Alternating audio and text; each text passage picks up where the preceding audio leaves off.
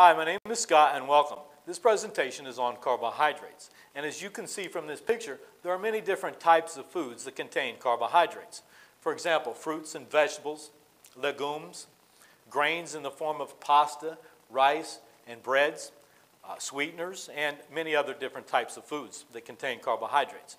I'm going to go over a wide variety of topics related to carbohydrates, starting with the structure of carbohydrates.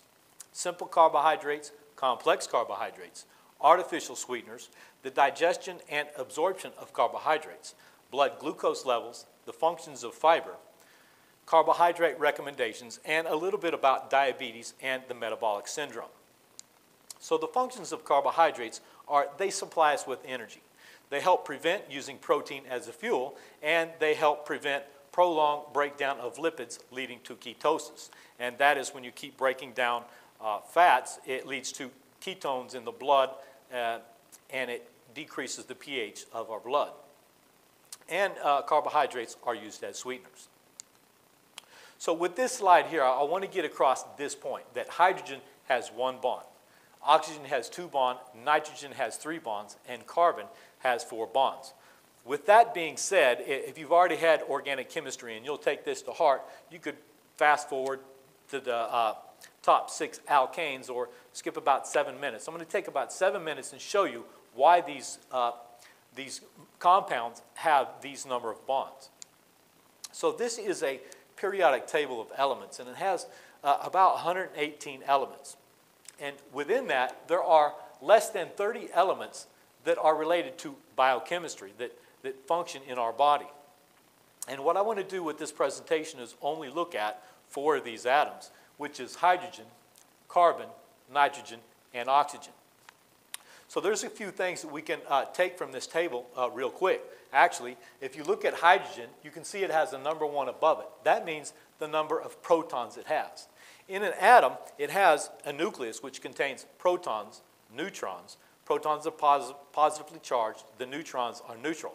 And the electrons will orbit around the nucleus, and those electrons have a negative charge. So the number of protons, which is designated above the element, is also equal to the number of electrons in its shell, in, in its orbital. So as you can see, hydrogen has one electron. Carbon has six, nitrogen has seven electrons, and oxygen has a total of eight electrons. Now, also with this, you can see that these numbers up top, this is number one. That means it has one electron in its outer shell. So it will have a number of orbits, but that last orbital sh shell will have that number of electrons, as carbon will have four electrons in its outer shell, and same with uh, nitrogen will have five, and oxygen will have six electrons in its outer shell. Also, there's something else interesting about this table, is that the first, these, these rows will let you know how many orbitals there are in an atom. So hydrogen has one orbital, and carbon, nitrogen, and oxygen, since it's in the second row, it has two orbitals. What I'm going to do on the next slide is I'm going to condense these three into this uh, second row here, the first and second row, I'm going to condense these together so it would be a little easier. So again, I'm going to cover hydrogen, carbon, nitrogen, and oxygen. So this, starting with the orbitals in, in an atom, they are their name. First, the first orbital is the 1s orbital. As we see right here, it is 1s, and the next orbital going out is the 2s orbital. And these little numbers, the superscripts up top, is the number of electrons that it has in those orbitals. And the next orbital is the 2p orbital. And if you'll notice down here, the p orbital has an x, y, z in the p, and there will be two electrons, 4 and 6. So that p orbital, again, has six electrons. There's actually three orbitals within that p uh, orbit. And also going a little further is we have the 3s orbital, and that has two electrons in that, and that fulfills that orbit. We're not going to go out that far from the nucleus. What we will do is, for the most part, go out to the third one, and then we'll condense that back into the second one if you hang with me. So starting off with the most easy one is hydrogen. Again, hydrogen has one electron, and so what we'll do is, is scientists will fill these shells in with the number of electron, electrons that these atoms have. since hydrogen has one electron and it has one orbital, we simply put one electron there and an electron in its outer orbital. And that is the 1s1. It has one electron in the s orbital. Since it has one valence, and this, since this is one electron in its outermost shell and it's by itself, it's called a valence electron. So it has one valence electron, and therefore it can form one covalent bond. A covalent bond is electrons like to pair up. So this atom can bond with another uh, electron from another atom, and that will form a covalent bond. Now, carbon is a little more complicated. It's not that bad. Um, it has six electrons total. So what we'll do is we'll fill these shells in with the electrons, and I'll show you how that works. It has six electrons. We know it has two orbitals, but I have three here, and I'll show you why. The first we'll add, the, add in the electrons. One electron, two electrons, so that one s is full. Three electrons, four electrons, and so now the 2s is full. And now we have two electrons left, one, two. But the p orbital is, is, is not stable. So what we have to do is we're going to make this a hybrid orbital. We're going to combine the s with the p. And how we do that is we'll move one electron over into the p orbital to make that more stable. And now we have what is called an sp hybridized. And since p has three electrons in it, it is an sp3 hybridized orbital.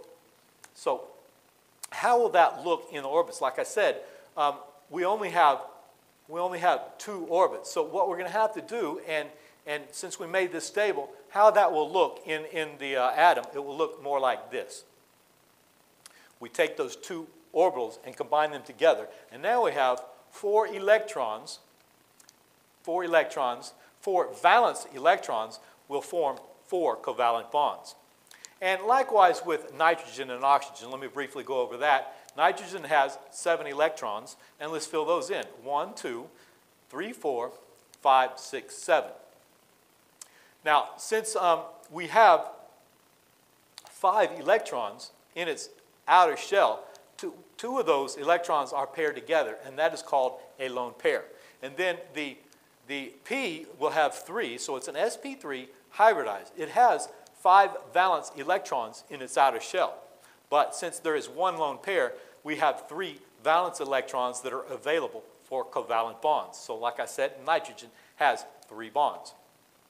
And oxygen is very similar. Again, uh, I, it has eight electrons, and we'll fill up the 1s, 1, 2, 3, 4, 5. Now we have to fill up each one of these first, 5, 6, 7, and then we'll come back and fill up number 8. So if we look at this, and since it only has two orbits, we know that we have two lone pairs and two valence electrons. There's actually two, four, five, six valence electrons, but two of those are lone pairs. So we only have two electrons that are available to form two covalent bonds with oxygen. Okay, with that being said, we kind of have a little bit idea about how many bonds carbon, nitrogen, oxygen, uh, and hydrogen can form. Excuse me. Okay, uh, in the beginning, I went over on the overview, the science of nutrition.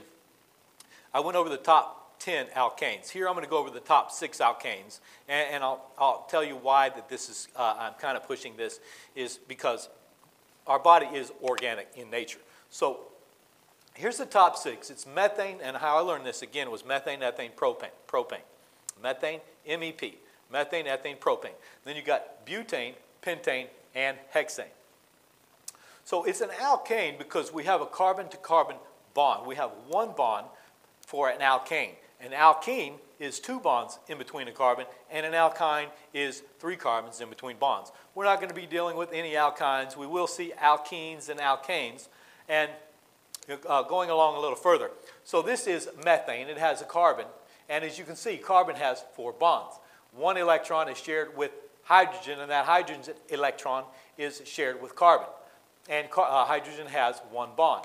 And that's the same with all of the straight uh, chain uh, carbon chains, alkanes. So ethane is a two carbon chain, and propane is a three carbon chain.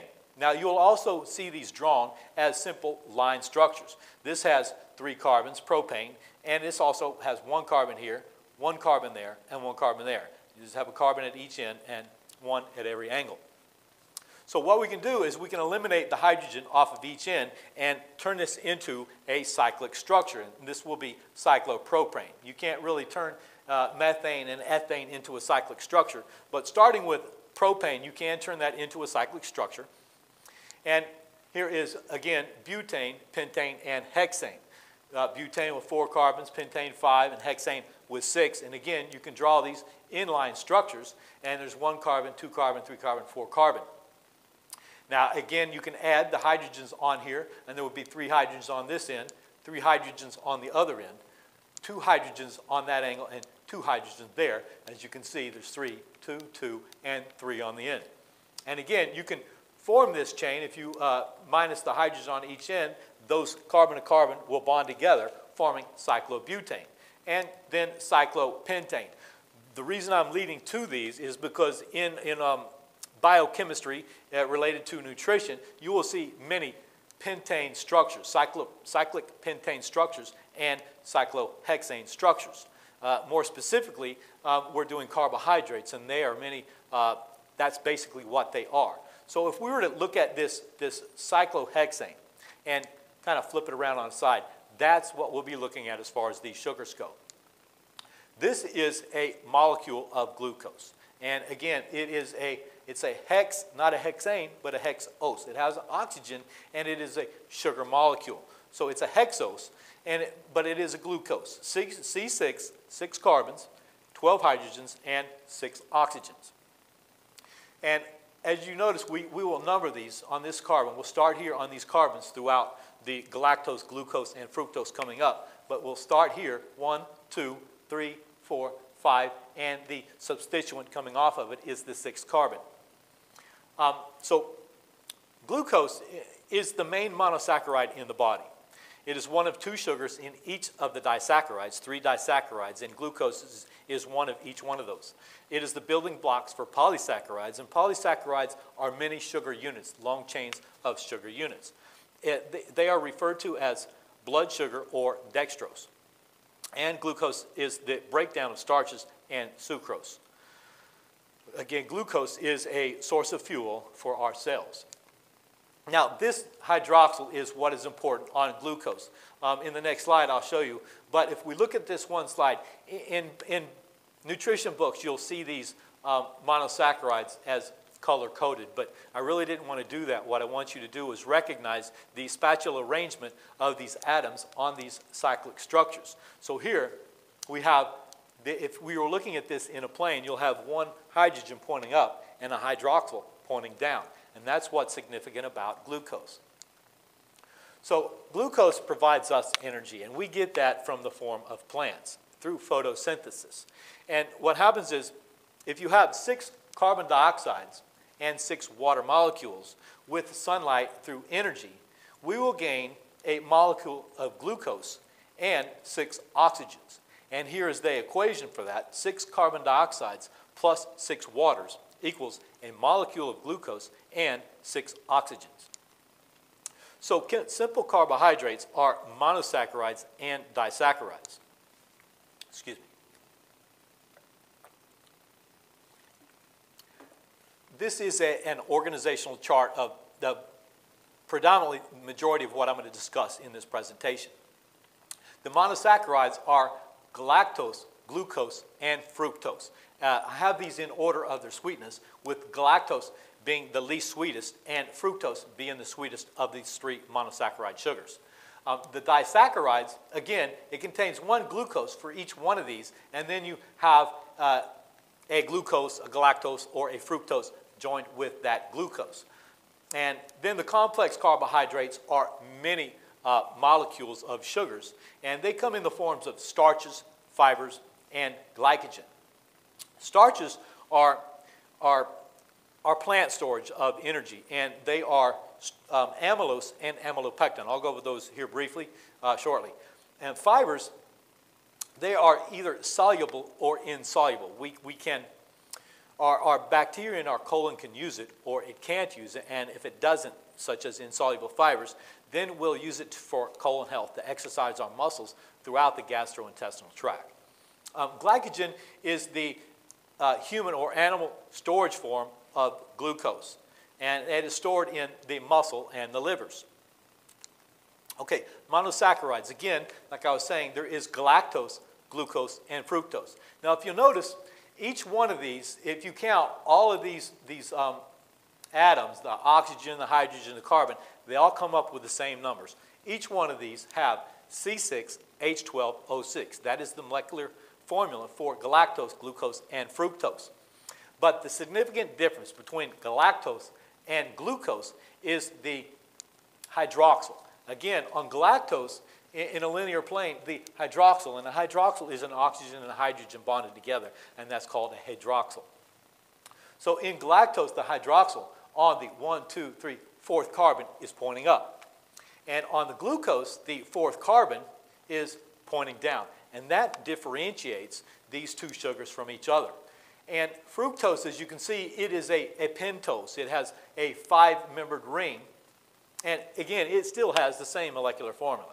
So galactose is converted to glucose in the liver. Everything is pretty much converted to glucose in the liver.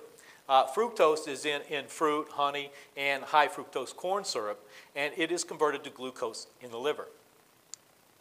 So, um, yeah, there's the hydroxyl. Okay, moving forward. So the way we attach these monosaccharides together is through hydrolysis. What we'll do is simply take a water molecule uh, out of these, these two monosaccharides, and they will join together. And how we do that is we'll take a hydroxyl off of one and a hydrogen off of the other, and they will both born, uh, bond excuse me, to this oxygen through a glycosidic bond.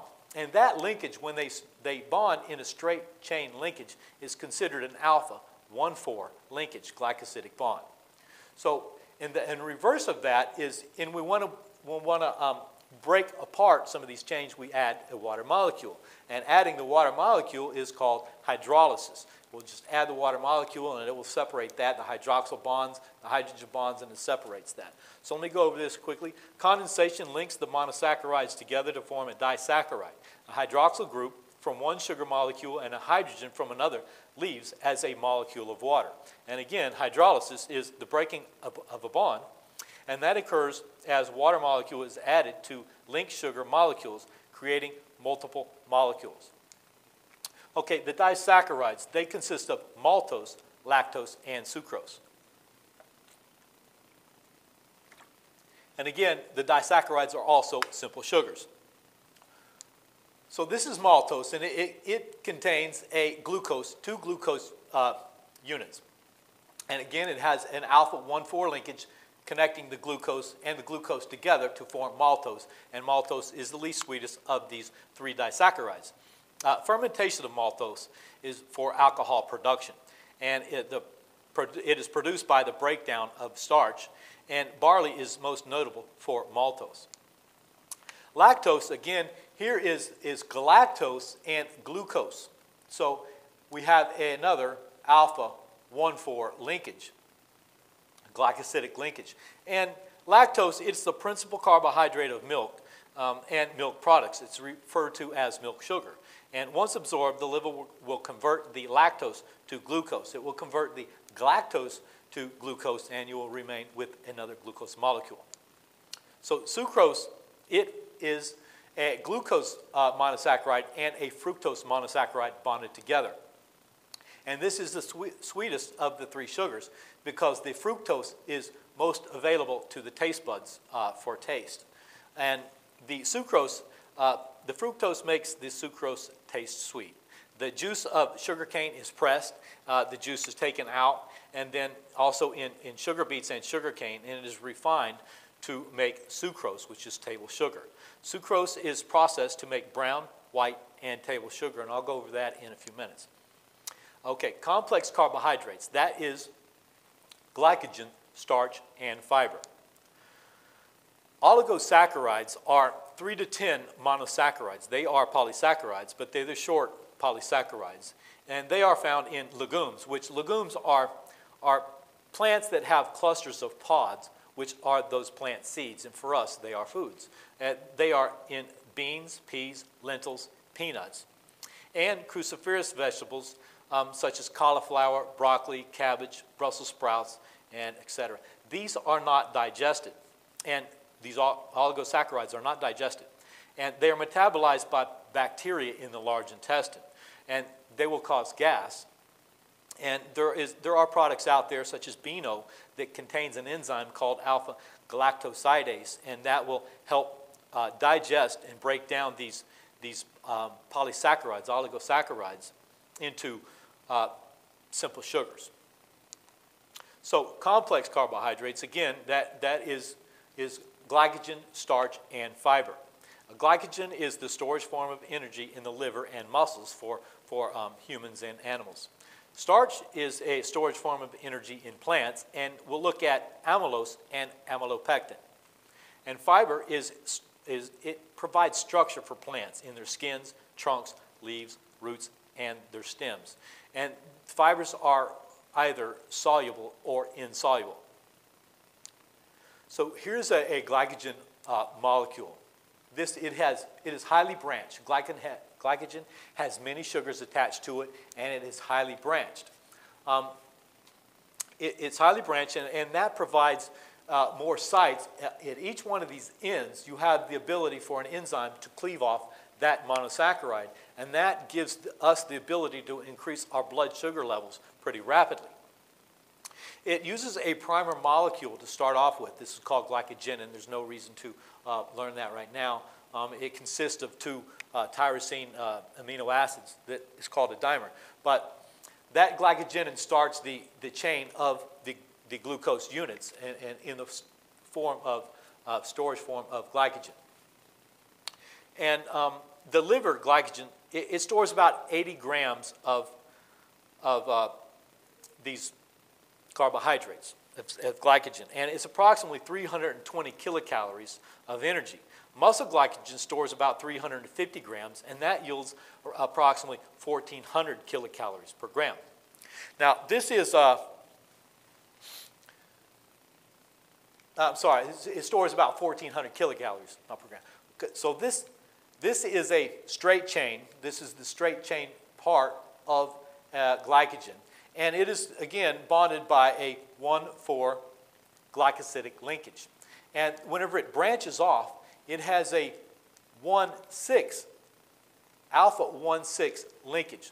So the straight chains are alpha 1,4 linkages, and the branches here, when it branches off here, it will be an alpha 1,6 linkage. So, starches. There are thousands of glucose molecules linked together. They are grains, fruits, vegetables, tubers. Um, there's a couple types of tubers. There are stem tubers and root tubers. Root. Uh, the stem tubers are like potatoes. What happens is the plant uh, will form stems right under the surface of the soil, and it will have a, a bulb there, which will take the plant through um, uh, periods of, of low nutrition, uh, poor sunlight, uh, poor uh, water, and, and such like that. So it will house nu nutrients for that plant to survive through the stems, and that's potatoes are stem tubers. There are root tubers, which are connected to the bottom of the plant, and it, it forms a bulb there. And those are in the form of sweet potatoes, yams, and yucca, such, and also legumes and root crops. So amylose, again, it has the alpha 1,4 glycosidic linkage, and that is the straight chain. This is a plant storage form of, of glucose, and it, it starts to coil up, and this is what a uh, amylose will look like. Amylopectin, again, is, is highly branched. It's not as branched as glycogen. Glycogen is the most efficient storage form of glucose. And here we have amylopectin. It has the long straight chains as the alpha 1,4 glycosidic linkages, and where it branches off, it has the alpha 1,6 glycosidic bonds. So 20% of the digestible starch in plants is amylose, and 80% of that digestible starch of amylopectin is amylopectin. And here again, amylopectin will have multiple sites for enzyme action, and that will increase blood sugar levels pretty fast too. So fibers. Humans lack the enzyme that's needed to break the beta 1,4 glycosidic bonds, and this is a glycosidic beta 1,4 glycosidic bond. We don't have that enzyme in our body, so we can't digest it. what will happen is either it will be considered insoluble or, or um, soluble. The insoluble, it is, it is not fermented by the bacteria in our colon. And that is the insoluble fibers. It is cellulose, lignin, and hemicellulose. In plant walls, cell walls, it has a primary wall, and that primary wall, it's the outermost wall, is the cellulose. And a little further in is the hemicellulose. And the lignin will bind these two structures together to provide protection to the, the fleshy part of the plant, um, which has the nutrients in it. The soluble fibers, they are viscous, and they are in fruits, vegetables, rice, bran, uh, psyllium seed, and they are considered pectins, gums, and mucilages. They form solutions in gels in water, which helps delay emptying of the stomach. They stabilize blood glucose levels, and they reduce cholesterol and increase satiety, uh, the feeling of fullness. Again, the, the um, insoluble fibers, they will increase the fecal bulk and provide colon health, uh, gastrointestinal health throughout the whole tract. And it increases intestinal transit time. Okay, this is a picture representation of a few of the fibers. Again, pectin, it is the, the more the meaty, fleshy part of the, um, of the fruit, and that is a viscous fiber. It, it's viscous. There are the, the pectin,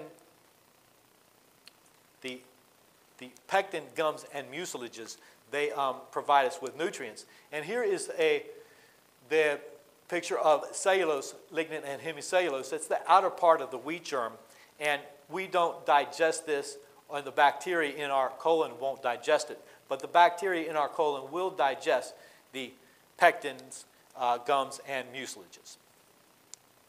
Okay, functional fibers, that is extracted from plants and added to foods or used as supplements that provide health benefits. So they'll, take, they'll extract the fiber from plants and, and add it to foods, and it's also used in supplements.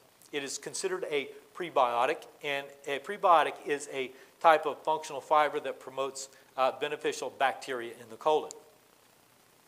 Okay, nutritive sweeteners and non-nutritive sweeteners. They are also referred to as artificial sweeteners. Starting with nutritive sweeteners, and the reason they're called nutritive means that they yield some energy. With high fructose corn syrup, that is a corn starch that undergoes an enzymatic process. Some glucose is converted to fructose. So normally in sucrose, you have the fructose and glucose molecules at a ratio of about 50-50. But under this, this enzymatic process, they turn some of that glucose into fructose to make it sweeter. And that's where it becomes high fructose corn syrup. The sucrose, like I said, is about 50-50 uh, uh, glucose and fructose. The benefits of this is that it is cheaper than importing sugarcane or sugar beets. There is, the corn is abundant in the United States, and it does not form the sugar crystals. It's more easily transported, it has an increased shelf life, and it is preferred by the food industry as it improves the food properties, such as for baking. Now, here's an article from the uh, American, uh, they changed their name, American Journal of Clinical Nutrition. Um, now it is the Journal of Nutrition and Dietetics, the Academy of Nutrition and Dietetics. Okay, these nutritive sweeteners, um, again, there's turbinado sugar, and that is considered raw sugar. It, it is sugar cane juice that has been drained and then put into these turbines to dry. And it will retain the molasses color. And molasses is a byproduct of the processing of, of sugar cane. So they'll leave some of that molasses color in there, and it's not further processed as table sugar. Table sugar, it has a further processing, and it's used, it, they use bone char. And what that is, it's kind of, it's ground up bone, animal bone, and they take out the hydrogen and oxygen, and you're left with carbon. And it's a powder, and that will remove the molasses color, leaving it as a white table sugar. And uh, in brown sugar, they, they, it is pretty much identical to table sugar, but they add some of the molasses coloring back in and the flavor. You can taste that. Maple syrup, it, it's the sap of, of sugar maple trees. It's expensive, and for the most part, whenever you have like a, a maple syrup for your pancakes or something, um, that is not 100% maple maple syrup. It's cornstarch and high fructose corn syrup and a little bit of maple syrup for the flavoring. Honey, it, it's enzyme altered plant nectar uh, from sucrose to fructose and glucose. So the, the bee will come along with its, its enzyme and, and it will break that down um, from sucrose to fructose and glucose. And it, it contains Clostridium botulinum, which is, uh, it, it, it has spores. And for adults, it's not that detrimental because we have a high pH in our stomach. But for infants and toddlers, it could be very detrimental because this is a foodborne illness. Okay, sugar alcohols, uh, sorbitol and xylitol. They both yield approximately 2.6 kilocalories per gram, and it, it, may have a laxative effect if it's consumed in large quantities. Um, the decreased catabolism of sugar alcohols by bacteria in the mouth, it prevents the dental caries. So that's why it is preferred. Um, it is valuable in chewing gum, mints, and other substances held in the mouth for periods of time. The advice from the ADA is that use these, and, and this goes for pretty much all nutritious and non-nutritive sweeteners. Use moderately with nutritious diet. It is beneficial for diabetics and it can decrease energy intake. Okay, non-nutritive sweeteners.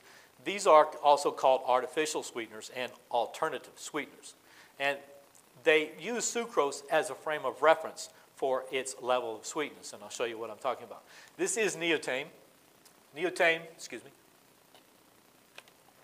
It is 7,000 to 13,000 times sweeter than sucrose. Um, this is an aspartame, and what they do, it, it's similar to aspartame, but they added, neo means new, and hex is again six carbons. So they added a six carbon chain to aspartame, and they call it neotame. The, excuse me, cost benefits to the food manufacturers are great due to the high sweetness. So since it's so high, you don't need as much to sweeten the product that you're selling. It is heat stable, so you can use it for cooking.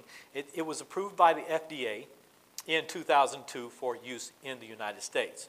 It is not catabolized to amino acids in the body, and it is not digested or absorbed. The adequate daily intake is approximately 18 milligrams per kilogram of body weight. So again, if you weigh 150 pounds, you divide that by 2.2 and you'll have the number of kilograms, and then you do that by 18 and you'll know how much you can have. I'm going to use uh, cans of diet soda as a reference because coming up uh, shortly, I, you'll see that, that added sugars in the American diet are, are about 50% of our, our added sugars in our diet come from drinks. So I'm going to use this cans of diet soda. And, and so neotame is uh, approximately eight cans of diet soda is 18 milligrams per kilogram of body weight. Sucralose, also known as Splenda, is 600 times sweeter than sucrose. Um, it is similar to sucrose in that all they did was they took off a hydroxyl on three bonds and added a chlorine. So it is heat stable. You can use it for cooking. It's approved by the FDA in 1998 for use in the United States, and it is not digested or absorbed. The adequate daily intake is 5 milligrams per kilogram of body weight, which is approximately six cans of diet soda. Okay, saccharin, this is a, was a highly controversial uh, food additive, and uh, let me go over that briefly. Um, as you see, it, it is a two, it's a six ring and a five ring structure with a sulfur added to it. Um, it's three 300 times sweeter than sucrose. It was the first alternative sweetener produced in 1879, and it was approved by the FDA in 1879 for use in the United States. It represents approximately 50% of the alternative sweeteners used in North America. It was once considered to cause bladder cancer in animals. In the 1970s, there was uh, some studies in Canada, I believe it was, that it was shown that, that saccharin um, causes uh, tumors in the bladder. And you know, it was banned in 1977 until they had some rigorous studies and, and went over it many times, and then it was reapproved by the FDA in 2001. It is absorbed and excreted, and it is in little pink packets such as Sweet and Low. The adequate daily intake is 5 milligrams per kilogram of body weight, and that is approximately equal to 10 packets of sweetener. Okay, acesulfame K. Now, the reason they call it K is it has a potassium added to the cyclic structure. Um, it is 200 times sweeter than sucrose. It was approved by the FDA in 1988, 1988 excuse me, for use in the United States. It is used in over 40 countries worldwide. It is not digested by the body. It is heat stable, so you can use it for cooking. And the adequate daily intake is 15 milligrams per kilogram of body weight, and that is approximately equal to 30 cans of diet soda. Okay, aspartame. This is the most controversial and most tested uh, added nutri uh, nutrient added to foods in, in history.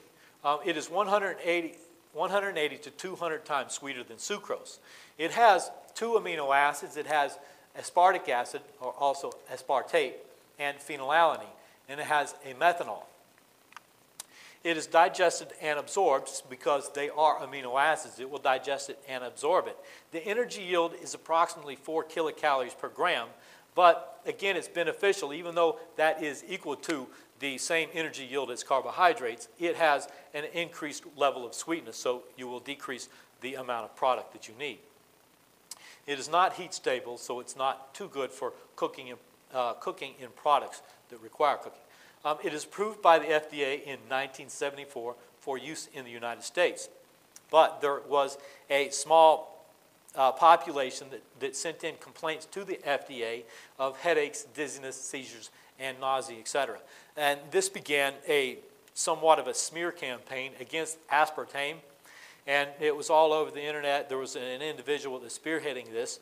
And the reason they were looking so hard at this is because the methanol, and the methanol is converted into formaldehyde, which is quickly converted to other products in the body, so it's really not a major issue.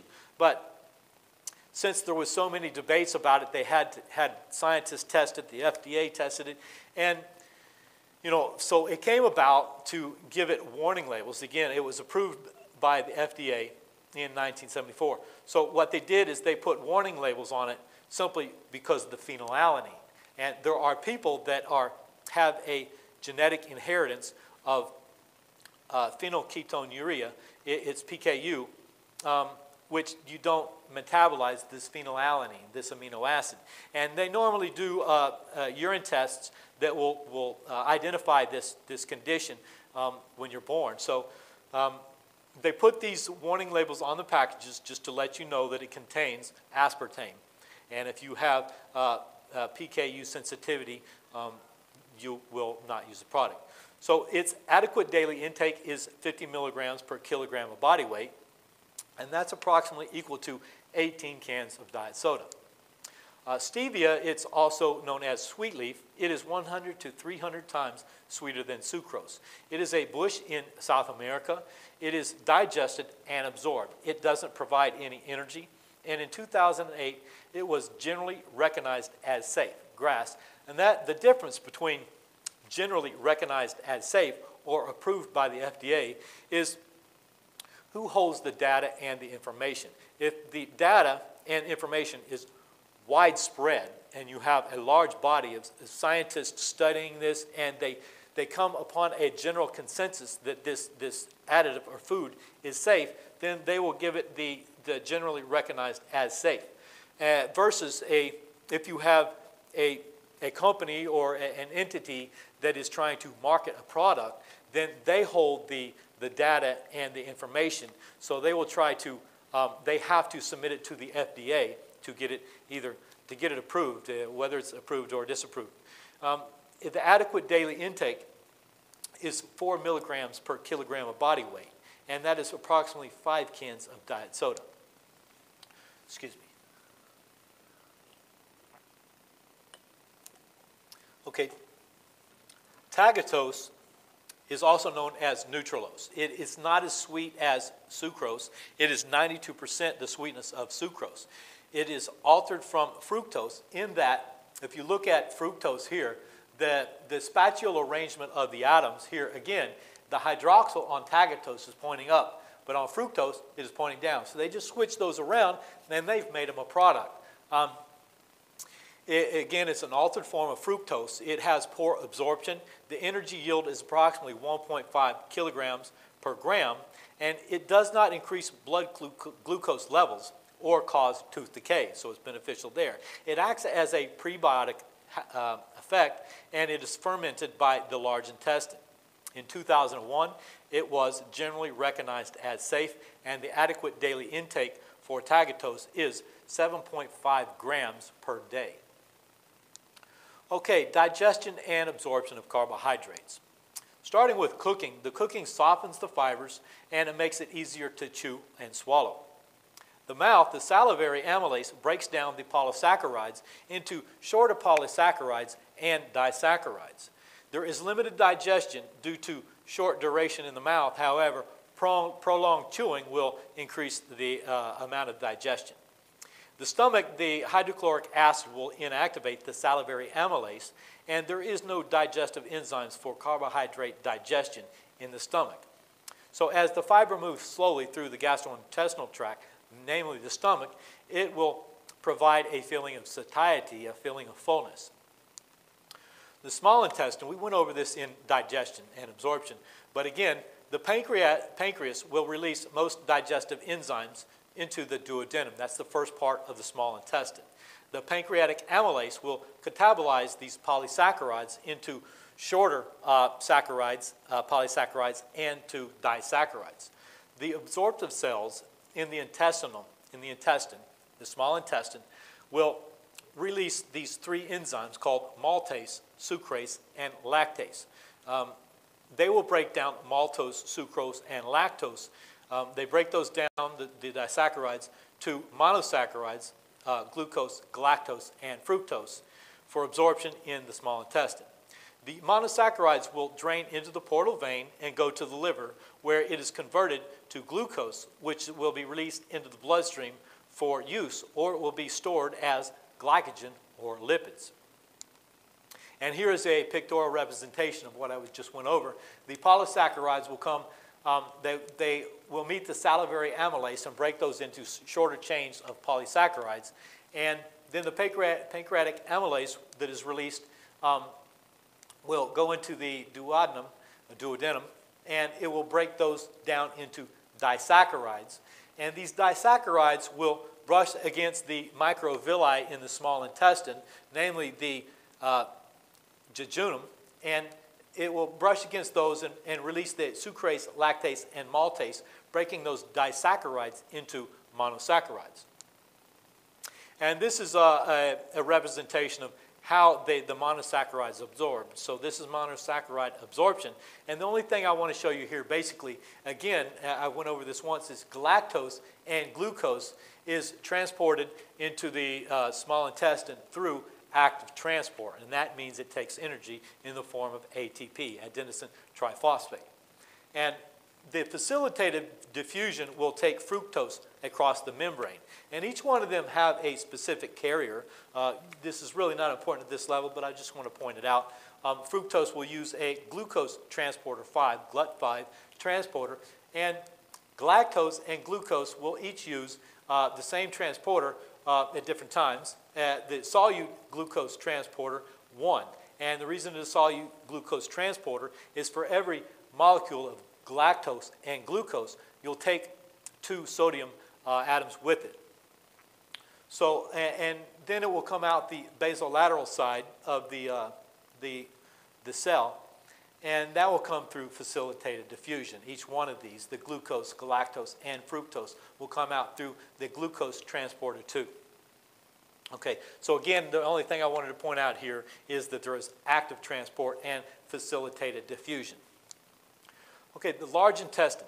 The viscous fiber is fermented by the bacteria in the large intestine. That releases the acids and gases for absorption. The rectum and the anus, the indigestible, non-fermentable fibers are excreted in the feces.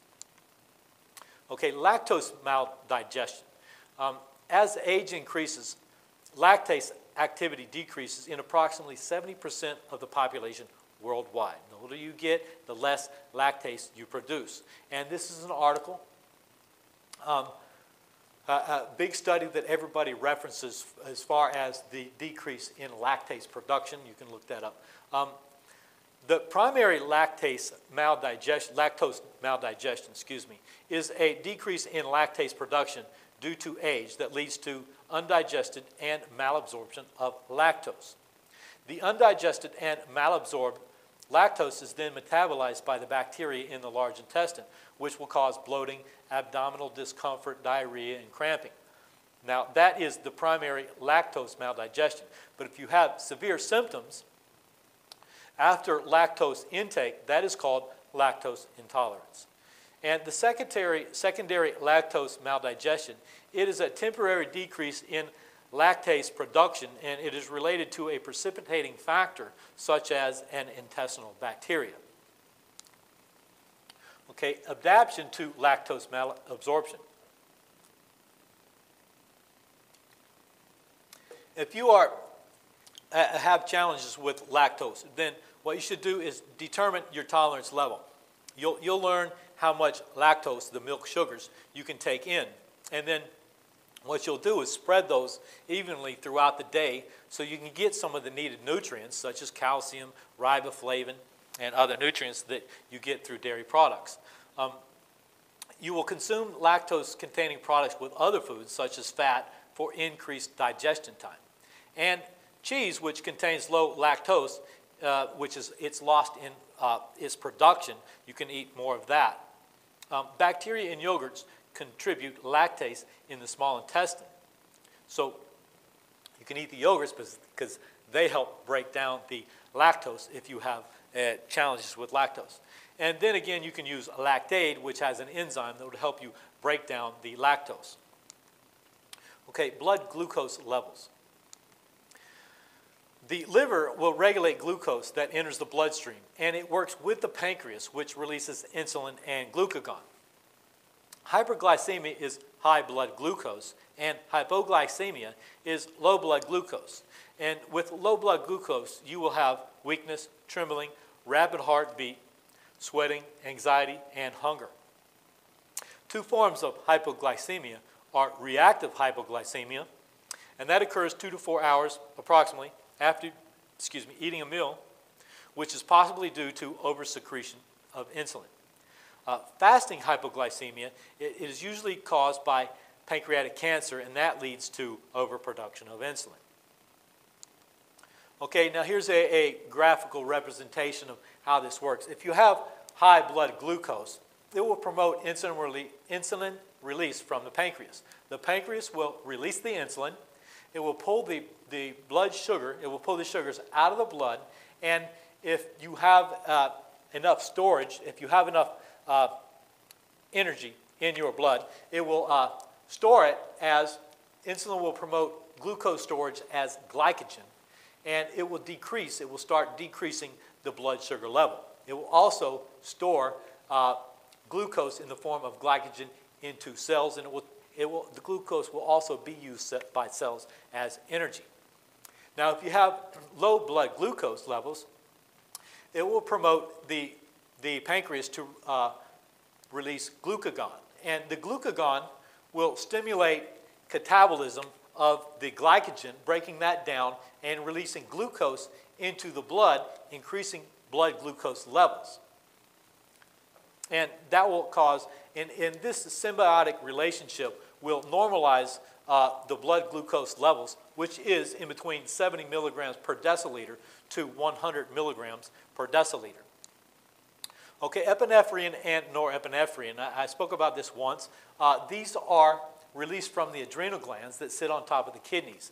And this is used in a, a flight, fight or flight response. So if you're in some type of danger or something like that, it's part of the sympathetic nervous system, and it will promote glycogen catabolism to glucose to increase blood uh, glucose levels in the, the bloodstream. So insulin, what insulin does, it promotes glycogen synthesis in the liver and muscles. What we just talked about. It will promote glucose uptake by the cells. The cells will take it um, and use it for energy, or the muscles will store it again as glycogen. It will inhibit gluconeogenesis, that is, breaking down glycogen and creating new glucose molecules, and it will decrease blood glucose levels. So it will take the glucose out of the bloodstream and store it as glycogen or it will use it as fuel. Uh, glucagon, what it does, it, it catabolizes the glycogen in the liver and the muscles uh, to be used as glucose. The muscles, we don't have a, an enzyme, what's called glucose 6 phosphatase. You don't have to worry about that, but the muscles will use that for energy for its muscles. They're pretty uh, selfish as far as that goes. But the liver uh, will break down that uh, glycogen and it will send its sugars throughout the body. So again, glucagon will promote gluconeogenesis. It will start breaking down these sugars and it increases blood glucose levels. The glycemic index, it is an index that ranks the carbohydrates of a given food on a scale from 0 to 100, according to the increase of blood glucose levels after eating. Um, it is a ratio of blood glucose uh, response to a given food compared to glucose, which has a glycemic index of 100. So the blood glucose is the frame of reference, and they use that as a uh, the reference of 100 glycemic index. So the glycemic load it is the number of grams of carbohydrates in a food minus its fiber multiplied by the glycemic index of that food, and then you divide that by the uh, reference of 100. So here's a, a brief example. For example, um, if you have 225 grams, a cup of bananas, uh, with a glycemic index of 52, so you'll take the total carbohydrates, which is 51.4 grams, and subtract the amount of fiber and that will equal 45.5 grams of carbohydrates. And then you will multiply that by its glycemic index, 45 uh, times the 52, uh, and then divide that by 100, and you'll have a glycemic load of 24. A high glycemic load uh, causes high insulin response, which leads to increased blood triglycerides. So you start bringing in uh, triglycerides in the bloodstream, it will increase fat synthesis and deposition. It will deposit a lot of fat, um, and it increases uh, low density lipoproteins. And these LDLs, uh, they bring cholesterol to the tissues from the liver, so it's, um, it's not a good thing. It will also increase clotting, and it has a rapid return of hunger. And this will eventually lead to insulin resistance, uh, which leads to type 2 diabetes. So with a high glycemic load, you can lead to insulin resistance. And what that is, is your pancreas produces the insulin, but the cells uh, don't recognize the ability to take the, the glucose into the cell, and that is insulin resistance. So functions of fiber. Soluble fiber and cholesterol. Um, Fruits, vegetables, beans, and whole grains with a fiber there. It, high soluble fiber intakes inhibits cholesterol absorption. So it will decrease cholesterol absorption as the dietary fiber is taken into the body. The cholesterol will bind into the fiber. And it decreases blood cholesterol, which decreases the risk for cardiovascular disease, disease excuse me, and gallstones. The soluble fiber, again, as the, the cholesterol binds to the fibers, and so will the glucose. Um, it will slow glucose absorption, so it, it's spread throughout these fibers, and it will provide better glucose regulation and decrease insulin secretions. Um, the decreased insulin secretion decreases cholesterol synthesis in the liver. Okay, uh, hemorrhoids and diverticula. A diet deficient in fiber decreases water absorption in the intestine, leading to hard stools and possible constipation uh, causing excessive straining during defecation. Um, excessive straining can lead to both hemorrhoids and diverticula. In, in cases of diverticulus, now diverticula is this outpocketing. These, these structures on the large colon are called haustra. And if you strain too hard, it will cause a diverticula, a, a swelling in these haustra. And if a food gets in there, specifically seeds or nuts or something like that, will get in there, it will become inflamed. And initially the dietary fiber um, intake is reduced to prevent the bacterial uh, inflammation. And then the fiber is added back to the diet after the inflammation um, is, is, decreased to uh, ease the elimination. Uh, fiber and weight control. The bulky nature of fiber increases mastication, that's chewing, and slows gastric emptying while providing a feeling of satiety, feeling of fullness. The soluble fiber slows glucose absorption uh, helping regulate energy intake. Fiber and colon cancer. You know, there's been a lot of studies. The studies of fiber uh, related to cancer are controversial. So what you want to focus on are fruits, vegetables, beans, and whole grains. High fiber foods are more nutrient dense, as we went through those through the U.S. dietary guidelines. Carbohydrate recommendations. The RDA is 130 grams per day for adults, which is approximately 520 kilocalories.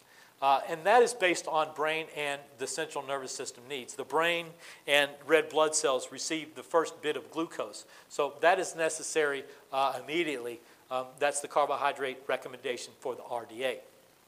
Um, the recommendations vary. The acceptable macronutrient distribution range is, is between 45 and 65% of total calories in the diet. So if you look at these, you'll notice that the AMDR is 0.45 and 0.65. So you'll simply multiply the 0.45 times 2,000 and you'll get 900. And the upper range is 1,300 kilocalories. So it's in between 900 and 13 kilocalories is the acceptable macronutrient distribution range. And on nutrition facts labels on packages, it, the recommendation is 60%. So there you would, uh, again, multiply the 0.6 times 8. They are referenced as a 2,000 kilocalorie diet. And you will multiply the 0.6 times the 2,000 kilocalories in a day, and you come up with 1,200 kilocalories. So these are very close, the, the upper end of the AMDR and the nutrition facts labels with 1,300 and 1,200. And the average U.S. intake is in between 180 and 330 grams, uh, which is somewhere between 720 and 1,300 kilocalories. And that's approximately 15 uh, 50, excuse me, 50% of the kilocalories of, of the intake. Again, focus on fruits, vegetables, and whole grains. dietary recommendations of uh, dietary fiber intake. That is based on decreasing risk for cardiovascular disease. The adequate intake is 25 grams per day for women and 38 grams per day for men. After the age of 50, then it's 21 grams and 30 grams respectively for women and then men. The daily value, which is again on the food label packaging, is 25 grams for the reference 2,000 kilocalorie uh, per day. A goal is 14 grams per 1,000 kilocalories. So um, that's frame of reference, uh, which is again 28 grams per 2,000 kilocalories. The average U.S. intakes is 13 grams per day for women and 17 grams per day for men.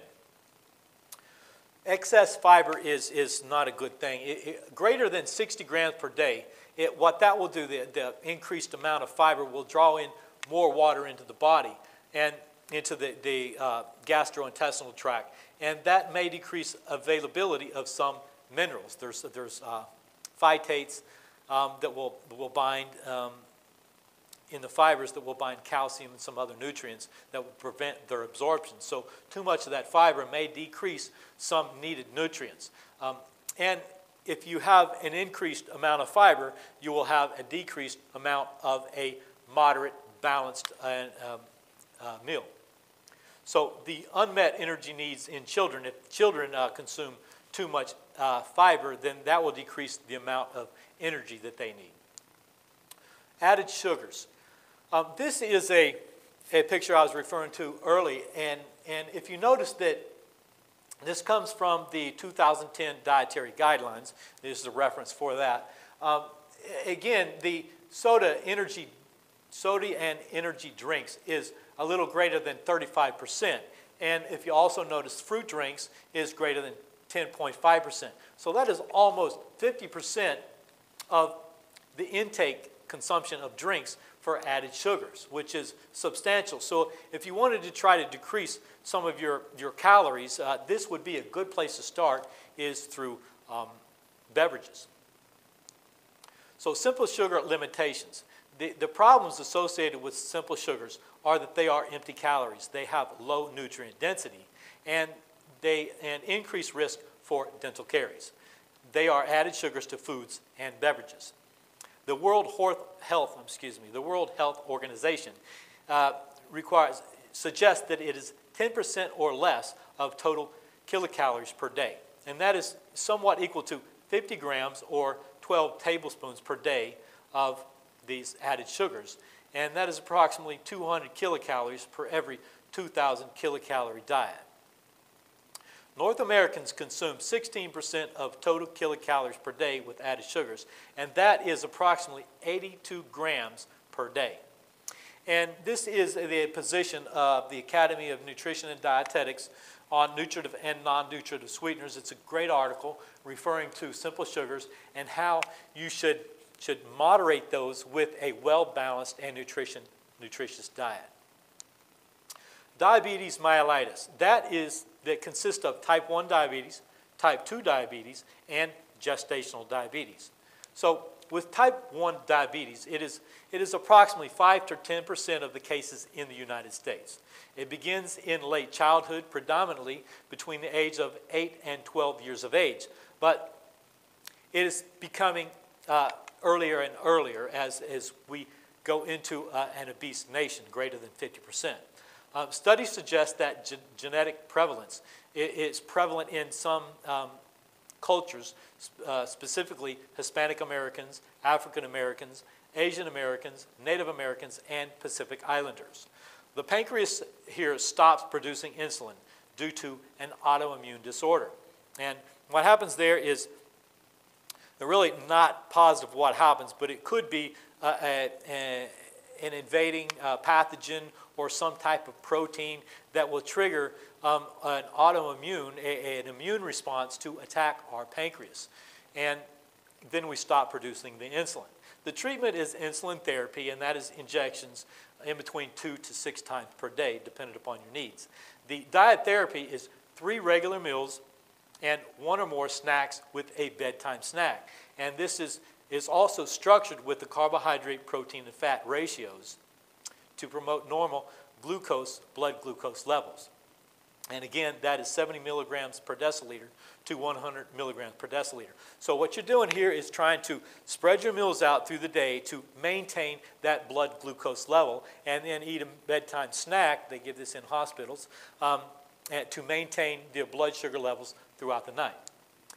And this is, um, this is a glucose tolerance test. It is a comparison of a diabetic and a non-diabetic. And, and this is where the glucose is given, and they watch the, how the glucose um, is increased in the blood levels and it starts to decrease. For a non-diabetic, the insulin, uh, the, the glucose level is normally given as, as, say, for example, a 50 gram load of glucose. And then they'll test the uh, blood glucose levels uh, periodically uh, for three hours. And they'll notice that the increase um, from a normal range, and it'll increase uh, a little bit above, and then what happens is the insulin will start kicking in, and it will pull the glucose out of the blood and into the cells.